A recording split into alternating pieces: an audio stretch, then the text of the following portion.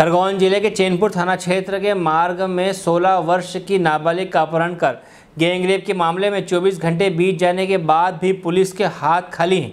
Police अज्ञात आरोपियों को अब तक कोई सुराग नहीं लगा पाई।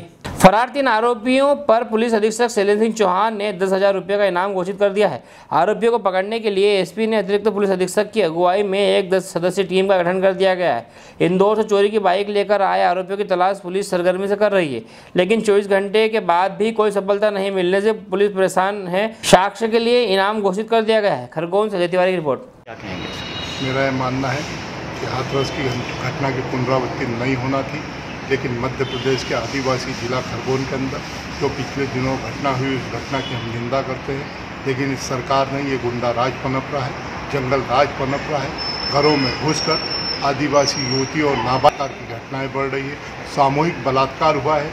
उसका भाई जो उसको बचाने गया, उसके साथ भी बहुत बुरी तरीके से मारपीट की घटनाएँ करी, घटना घटित हुई है। और खरगोन के साथ खरगोन की मारूगढ़ की घटना के साथ ही एक कर्मचारी महिला के साथ भी किसी खरगोन क्षेत्र में, गाँव में उसके साथ बदतमीजी करी जिन लोगों ने, उन पर अभी तक कार्रवाई नहीं हुई। ये मध्य प्रदेश की पुलिस की, विशेषकर खरगोन पुलिस की सबसे बड़ी विफलता है कि जो अभी तक आरोपियों को पकड़ नहीं पाए। मैं ऐसे संबंधित थाना प्रभारी और यहाँ इनको तत्काल प्रभाव से निलंबित रखना चाहिए और पुलिस के बड़े अधिकारियों के खिलाफ तत्काल कार्रवाई करना चाहिए और मध्य प्रदेश में पनप रहे इस गुंडा राज को तत्काल खत्म करना चाहिए। आपको क्या लगता है कि पुलिस बचा रही है या संवेदनशील नहीं कहीं ना कहीं पुलिस की मिली भगत है। पुलिस की मिली भगत के बगैर ऐसी घटनाओं को अंजाम नहीं दिया जाता है। जिन नौजवानों ने ये घटना करी है उनके बारे में सुना गया है कि घटना के पूर्व वो इन मोटरसाइकिल चुरा चुके हैं और, और उनका धंधा ही ये है मोटरसाइकिलें चुराना ऐसी घटनाओं को वारदात देना ऐसी वारदातों को बढ़ावा देना। आरोपियों का हम लोग पता लगा रहे हैं। वो उनके संबंध में अभी कोई ऐसी जानकारी नहीं आई है, जिनसे वो आइडेंटिफाई हो पाए हों। तो कहीं से भी अभी उनके संबंध में क्लू इस तरह का भी डेवलप नहीं हो पाया है।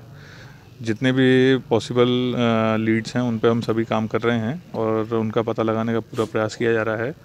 इसी उसमें जो है वो इनाम भी उन पर घोषित किया गया है दस हज़ार रुपये का।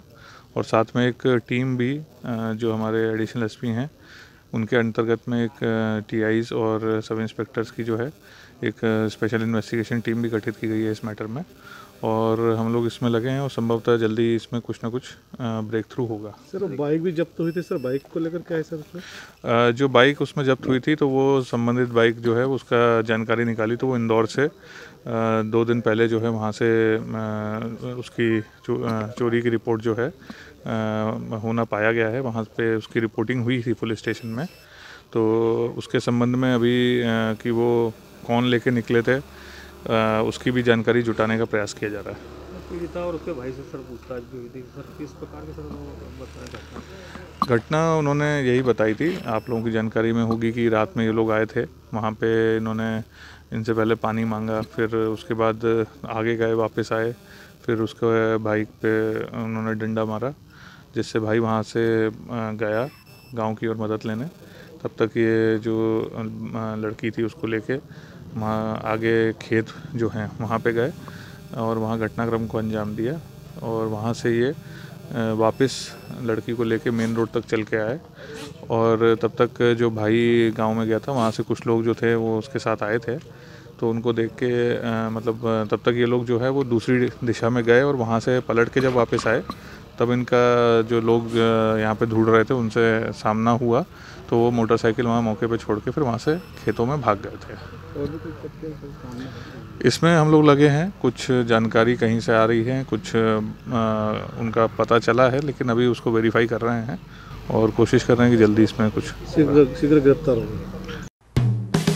हेलो फ्रेंड्स आप देख रहे हैं हमारा channel S W twenty four news हमारे सारे वीडियो सबसे पहले देखने के लिए आप हमारे चैनल को सब्सक्राइब करें और पास में लगे बेल आइकन को दबाना बिल्कुल भी ना भूलें।